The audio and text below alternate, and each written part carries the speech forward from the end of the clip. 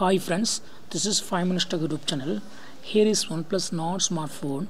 In this video, you will learn how you can hide lock screen notifications in your phone OnePlus Nord. If you put lock screen and if you receive any notification, here itself you will see notification. See here.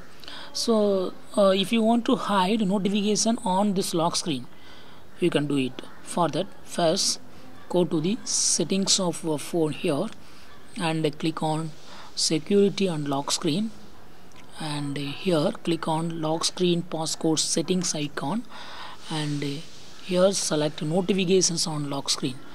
By default it is it is set set in show all notification content. So you will see all notifications including whatsapp so if you want to uh, hide uh, notifications on lock screen then you have to choose third one.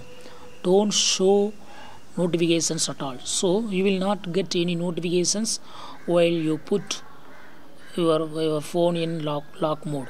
See here. You will not you, you will not see here you will not see any uh, notification. So in this way we can easily make uh, no notifications hidden on lock screen in your phone OnePlus Nord. That's all friends. Thanks for watching. Bye.